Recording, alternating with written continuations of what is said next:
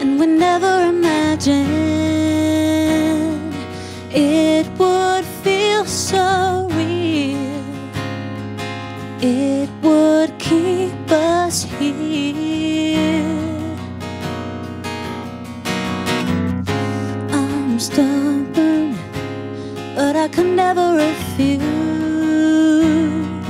all that you did right to me was always a